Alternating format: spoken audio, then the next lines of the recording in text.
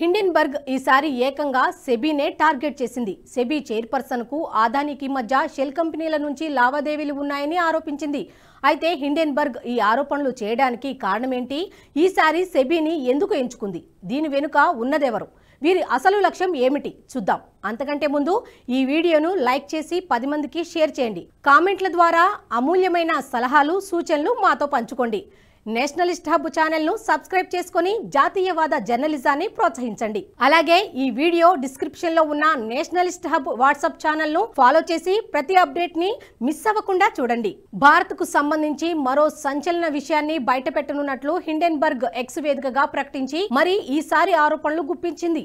Adani group సంస్థల షేర్ల విలువలు కృత్రిమంగా పెంచేందుకు వినియోగించిన మ్యారిషస్ ఫండ్లలో మాధవీపురి ఆమె భర్తకు వాటాలు ఉన్నాయని ఆరోపించింది. దీనికి సంబంధించిన సమాచారం తమకు విజిల్ బ్లోయర్ నుంచి అందిందని పేర్కొంది.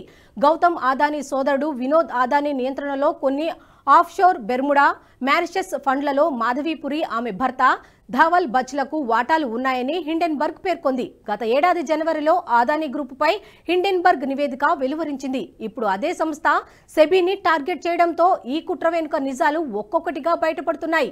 అవేంటో ఒకసారి చూద్దాం. హిండెన్బర్గ్ ప్రస్తుతం సెబీని టార్గెట్ చేయడానికి ఒక కారణం ఉంది. గతంలో ఆదానీ గ్రూప్ పై హిండెన్బర్గ్ ఇటువంటి ఆరోపణలే గుప్పించింది. ఇది అప్పట్లో తీవ్ర వివాదమైంది.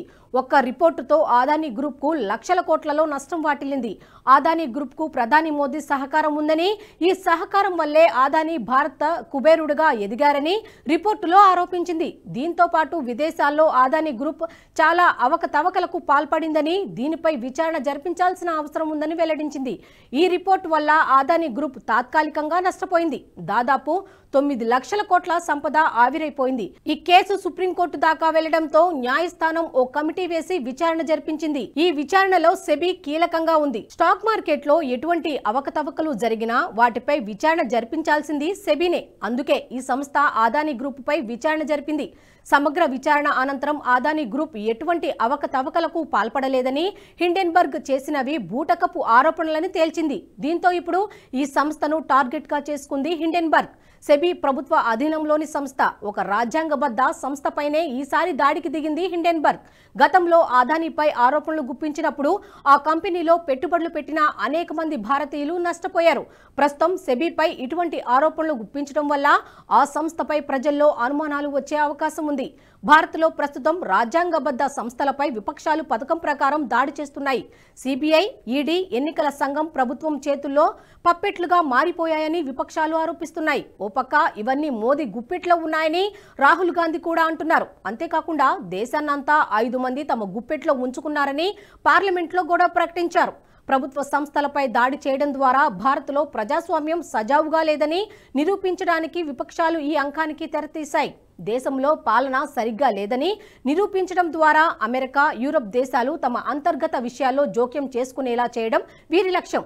రాహుల్ గాంధీ గతంలో విదేశీ పర్యటనలో ఉన్నప్పుడు తమ దేశంలో ప్రజాస్వామ్యం ప్రమాదంలో పడిందని చెబుతూ అమెరికా యూరప్ దేశాలు తమ దేశంపై ఓ కన్నేసి ఉంచాలని కోరారు. ఇందులో భాగంగానే ప్రస్తుతం విదేశీ శక్తులు మరో ప్రభుత్వ సంస్థను లక్ష్యంగా చేసుకున్నట్లు కనిపిస్తోంది. సెబీపై ఆరోపణలు గుప్పించడం ద్వారా ఆదానికి ప్రభుత్వం పరోక్షంగా సహకరిస్తుందనే వాదనను మరింత బలోపేతం చేయవచ్చు. తద్వారా ఆదాని మోదీ ఒకటే అనే ప్రచారాన్ని ప్రజల్లోకి తీసుకువెళ్ళవచ్చనే పథకం ఉన్నట్లు కనిపిస్తోంది. హిండెన్బర్గ్ సంస్థపై భారత్లోనే కాదు అమెరికాలోనూ కేసులు ఉన్నాయి. అమెరికాకు చెందిన సంస్థ అయిన హిండెన్బర్గ్పై అక్కడ ఆంక్షలు కూడా ఉన్నాయి. ఈ సంస్థ షార్ట్ సెల్లింగ్ పద్ధతిలో తరచూ అమెరికాలోని కార్పొరేట్ కంపెనీలపై అసత్య ఆరోపణలు గుప్పించి లాభపడుతుండటంతో అక్కడ స్టాక్ మార్కెట్లు కూడా దెబ్బతింటున్నాయి. దీంతో అమెరికా ఈ సంస్థపై పాక్షికంగా ఆంక్షలు విధించింది. హిండెన్బర్గ్కు జార్జ్ సోర్స్కు చెందిన స్వచ్ఛంద సంస్థలతో పరోక్ష సంబంధాలు కూడా ఉన్నాయి. ఒక రకంగా ఈ సంస్థను నడిపించేది జార్జ్ సోరెసే. సోరస్కు భారత్ అంటే గిట్టదు. ఇక్కడ మోదీ పాలన వల్ల సోరస్ చాలా నష్టపోతున్నాడు. అగ్రరాజ్యం ఇతర దేశాలపై ఆధిపత్య ధోరణితో ఉండాలని భావిస్తోంది. భారత్ కూడా అమెరికాకు తలొగ్గితే అక్కడి ఉత్పత్తులను భారత్లో అమ్ముకోవచ్చు. కానీ మోదీ అందుకు ససమిరా అంటున్నారు. అమెరికా ఒత్తిడికి ఏమాత్రమూ తలొగ్గకుండా నిర్ణయాల్లో స్వతంత్రత పాటిస్తున్నారు. దీంతో భారత్లో అమెరికా తన ఆధిపత్య ధోరణికి చెక్ పెడుతోంది. ఈ కారణంగా మోదీని గద్దెదించాలని జార్జ్ సోరస్ భావిస్తున్నారు.